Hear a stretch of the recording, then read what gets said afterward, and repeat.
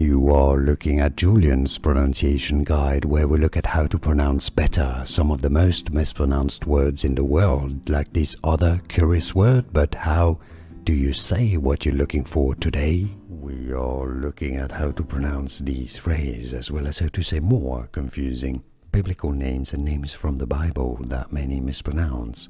So make sure to stay tuned. Paschal Triduum in British English, it is said as Triduum, Triduum, Paschal Triduum. Now, in American English, it's often said as Paschal Triduum, Paschal Triduum, or Paschal Triduum.